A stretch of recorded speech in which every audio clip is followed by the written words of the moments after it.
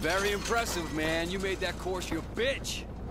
Okay, head upstairs and regroup with your team, or you can go back in.